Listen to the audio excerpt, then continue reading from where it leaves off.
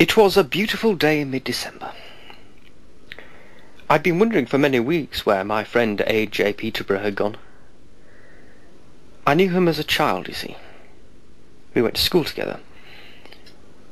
St. Toxteth's Boys High School. Occasionally we'd be buggered senseless by the games teacher, but it was all good clean fun, you see. Not like these days. ASBOs and hoodies. Anyway, he went off to become a, a poet of sorts. And I tried to hunt down some of his work, but I've had real difficulty in finding it. Every bookshop was empty. Not just of his works, but all works. Apparently there had been a big book bash a few weeks before, and all the books had gone.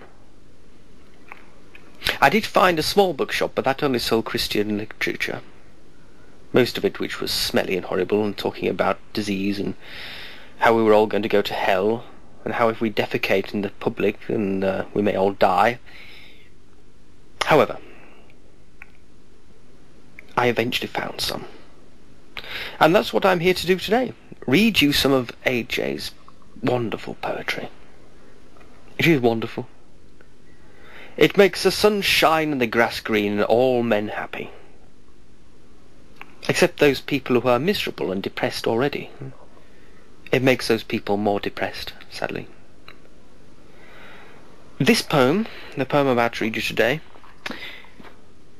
was written during his carnivorous period.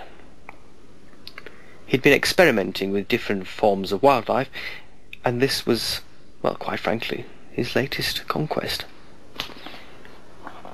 Let me read it to you. I must prepare myself for this. This is uh, quite a work. An epic poem.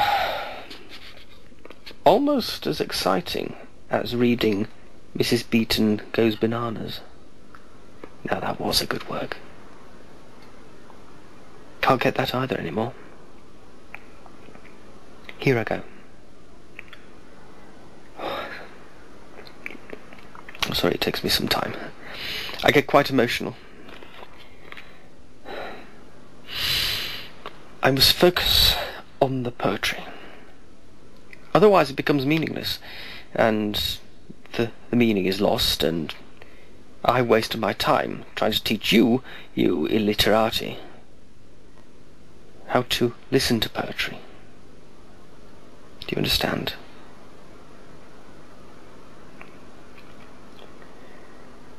I eat monkeys. Monkeys, monkeys, monkeys. I eat monkeys all day long.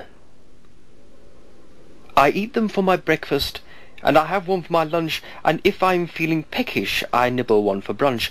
There's really nothing like them in a restaurant in Staines, and just like in that film, I like chilled monkey brains. Cos! I eat monkeys. Monkeys, monkeys, monkeys. I eat monkeys all day long. You can keep your gibbons and shrews, and ocelots in stews. There's nothing to make me happier than a monkey's paw in batter. Yes, I eat monkeys. Monkeys, monkeys, monkeys. I eat monkeys all day long. I eat monkeys. Monkeys, monkeys, monkeys. I eat monkeys all day long.